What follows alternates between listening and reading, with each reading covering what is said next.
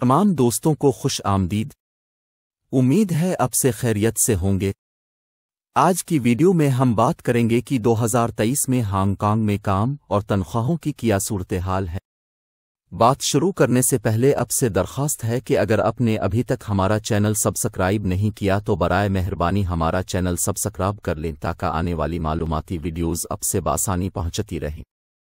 इसके अलावा अगर आपका कोई भी सवाल हो तो आप कमेंट्स में पूछ सकते हैं। अब बात करते हैं हांगकांग में 2023 में तनख्वाहों के बारे में। याद रहे कि कोरोना वायरस के दौरान दो तीन साल हांगकांग में काम के हालात बहुत खराब रहे हैं, जिस दौरान बहुत से लोग नौकरियों से हाथ धो बैठे।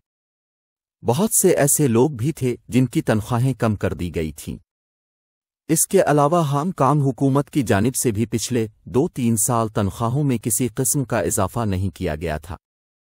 मगर अभी चूँकि कोरोना वायरस से मुतालिक हुकूमती पाबंदियों का खात्मा हो गया है, और अब हांगकांग की हुकूमत खुद चाहती है कि लोगों के लिए ज़्यादा से ज़्यादा काम के मौाक़े पैदा हों, कारोबार तरक्की करें, और उसके साथ साथ विज़िट पर आने वाले लोगों में भी इजाफा हो, ताकि कोरोना वायरस के दौरान होने वाले नुकसान को पूरा किया जा सके। इसी सिलसिले में हांगकांग हुकूमत ने बहुत से इकदाम लिए, जिसमें दुनिया भर से लोगों को हांगकांग लाने की कोशिशें शामिल हैं। इसके अलावा इसी साल 2023 में हांगकांग की हुकूमत ने तमाम मुलाजमीन की तनख्वाहों में इजाफे का ऐलान भी कर दिया है। पिछले कुछ अरसे के दौरान चीन के असर रसूख में इजाफे की वजह से हांगकांग के बहुत से मकामी चीनी लोग हांगकांग छोड़कर दूसरे मुल्कों में चले गए हैं, जिसकी वजह से बहुत सारी जगहों पर मुलाजमत के कई मौाक़े पैदा हुए। तालीम याफ्ता और आनरमंद अफराद की कमी की वजह से गैर मकामी लोगों को मुलाजमत के मौाक़े मिल रहे हैं। इस अफराद में पाकिस्तानी, इंडियन, बांग्लादेशी और नेपाली लोग शामिल हैं। मिसाल के तौर पर पिछले कुछ अरसे से हांगकांग पुलिस में पाकिस्तानी नौजवानों को भी भर्ती किया जा रहा है। इसके अलावा दीगर कई सरकारी और गैर सरकारी नौकरियों में पाकिस्तानी और इंडियन नौजवानों को काम के मौाक़े मिले। हांगकांग की मशहूर बस सर्विस के एमबी और सिटी बस में भी कई देसी लोगों को नौकरियाँ मिल गई हैं। इसके अलावा कंस्ट्रक्शन और सिक्योरिटी में तो पहले से ही बहुत सारे देसी लोग नौकरी कर रहे हैं। अभी बात करते हैं कि मौजूदा हालात में और खसूसन कोरोना वायरस के बाद हांगकांग में तनख्वाहों की क्या सूरत हाल है। हांगकांग के कानून में कम से कम तनख्वाह 40 डॉलर फ़ी घंटा है।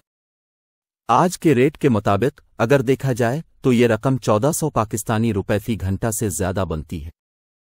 इंडियन रुपए में ये रकम 400 इंडियन रुपए से ज़्यादा है। हांगकांग में कोई भी कंपनी इससे कम तनख्वाह नहीं दे सकती।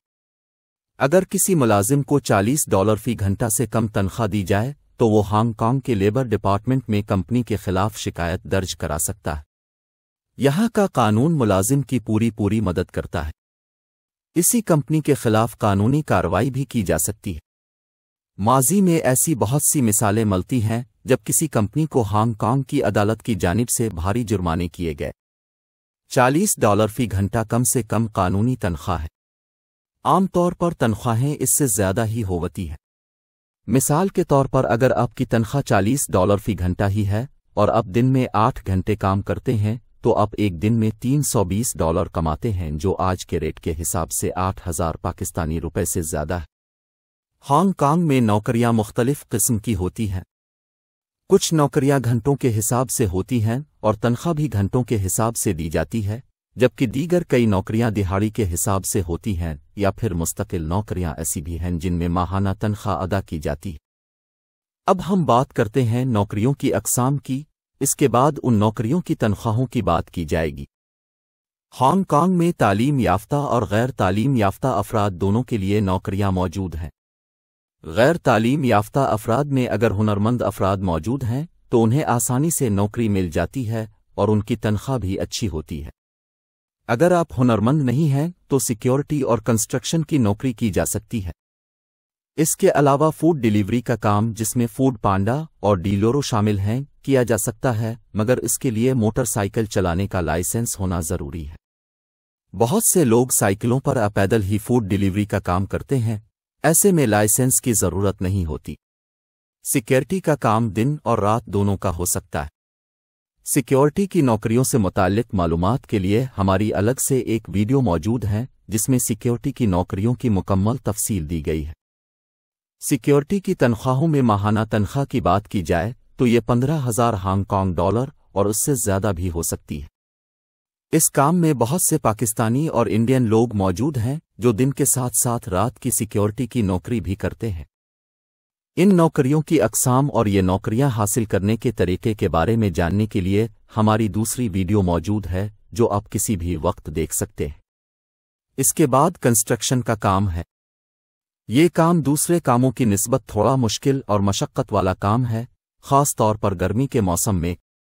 मगर इस काम में तनख्वाहें अच्छी और ज़्यादा हैं। हांगकांग में कंस्ट्रक्शन में काम करने वाले मजदूर एक हज़ार हांगकांग डॉलर एक दिन में कमा सकते हैं। अगर आप हुनरमंद हैं और तजुर्बाकार भी तो ऐसी सूरत में कंस्ट्रकश में एक दिन की तनख्वाह दिहाड़ी एक हज़ार डॉलर से भी ज़्यादा हो सकती। है कंस्ट्रक्शन का काम हांगकांग में मुसलसल जारी काम है और ये काम कभी नहीं राका इसलिए इसमें काम करने के बहुत से मौाक़े मौजूद हैं। कंस्ट्रक्शन में काम करने से पहले भी एक अदो कोर्स करने पड़ते हैं, जो कि लाजमी हैं। इसमें कंस्ट्रक्शन वर्कर परमट और सेफ्टी कोर्स शामिल है। ये कोर्स हांगकांग में ही करने पड़ते हैं, जिनकी तफसील अलग से किसी वीडियो में बयान कर दी जाएगी। इस साल यानी 2023 में हांगकांग की हुकूमत ने दीगर शुबों के साथ साथ कंस्ट्रक्शन में काम करने वालों की तनख्वाहों में इजाफा का ऐलान किया है।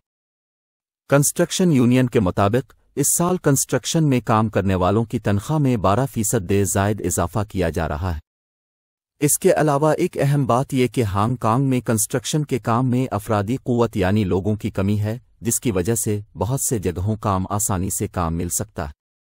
मगर ये बात याद रखें कि अगर आप गैरकानूनी तरीके से हांगकांग में दाखिल हुए हैं, वीज़े की मुद्दत से ज़्यादा हांगकांग में कयाम कर रखा है या पना गजियनी या रिफ्यूजी के लिए अप्लाई किया हुआ है तो आप ये नौकरियाँ नहीं हासिल कर सकते। इन तमाम जगहों पर नौकरी हासिल करने के लिए हांग हांग में कानूनी तरीके से दाखिल होना और कानूनी हैसियत से कयाम करना लाजमी है। उम्मीद है आपको वीडियो पसंद आई होगी। अगली वीडियो में मजीद नौकरियों और उनकी तनख्वाहों के मुतालिक बात की जा सकती है। एक मरतबा फिर आपसे दरख्वास्त है कि हमारा चैनल ज़रूर सब्सक्राइब करें ताकि आने वाली मालूम अब तक बासानी पहुँचती रहें। आपका कोई भी सवाल हो तो आप कमेंट्स में पूछ सकते हैं।